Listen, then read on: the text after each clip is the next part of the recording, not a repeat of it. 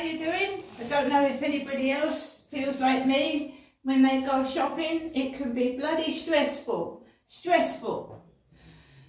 Today I had a doctor's appointment at 11am with my doctor's surgery for a mental and physical checkup. I went in there, I got seen early and I had the nurse, nurse succeed, saw me and all she did was take my blood pressure. Now I've been suffering significant stress, I suffer from depression, I was asked if I felt suicidal and I was offered no help and support at all, apart from talking therapies.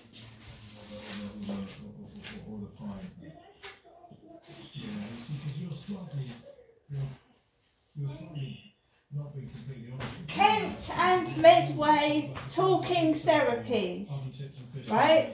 Because doctors don't refer you now, you have to phone up talking therapies yourself. Now they are here to listen. It's a telephone counselling service to help people like myself who suffer from anger and depression and are getting no help and support from their doctor's surgery. Self-refer by giving us a call, using our website or by scanning the QR code.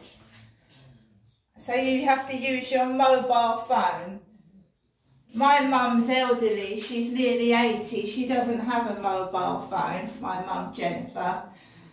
So I've been given this. I explained about how the bullying online and outside is affecting my mental health.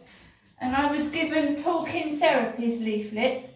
I was also told to um, record the bullying inside the shops, outside, and to report it to the police. And that's what I've been doing anyway. I recorded how I wasn't able to sit in the library in peace and quiet yesterday. I've just been out to Aldi in Strood, which is near my doctor's. And what a performance just to get my shopping this afternoon.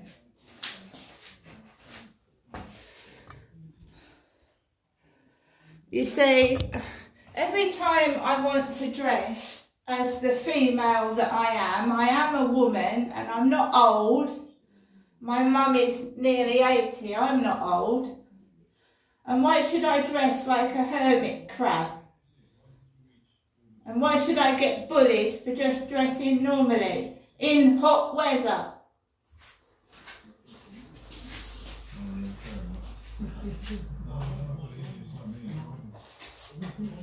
So I wanted to show you a couple of bits from Aldi and Strood. We've got some strawberry, two strawberry tarts. These are made in Scotland. They look yummy. We've got two toffee tarts made in Scotland. So they look nice, those do. And we've got ant wall art. These are cool.